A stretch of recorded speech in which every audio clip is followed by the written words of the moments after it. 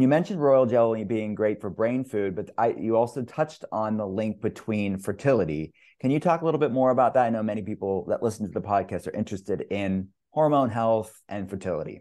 Yeah. So, I mean, I can tell you for for me right now, we're family planning. My husband and I both are like taking that royal jelly daily. Um, so in traditional Chinese medicine, it's been used for a very long time, and we also we work with a lot of practitioners and we sell into some pr- private practices. And what i see just you know looking at our customers uh, particularly people who practice traditional chinese medicine or practice with that kind of orientation uh, they're using royal jelly when when they take women off of birth control which has just been like a learning for me uh, watching that happen. And so for me when i went off birth control i was taking royal jelly daily there's been a few early studies. And again, most of the published science is around brain just because we mm-hmm. know it has such a powerful effect there. But I also believe that over the next few years, we're going to see, especially with what we're seeing with fertility rates for men and women, there's going to be, you know, additional studies focused in that space. But I actually just read a study looking at menopausal women,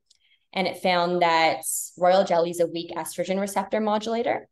And so, you know, it was it was the study was looking at menopausal women taking a thousand milligrams of royal jelly daily reduced their menopause symptoms.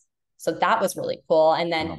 there's another study that's in progress. It's not completed yet, but they're looking at how royal jelly affects sperm and they're looking at things like um, viability, DNA maturation, all of that. And so far, they're seeing really promising results. It hasn't been published yet. And then again, just anecdotally looking at how royal jelly is used. So I am very, very big on royal jelly for a number of reasons, but it's a major part of my routine right now.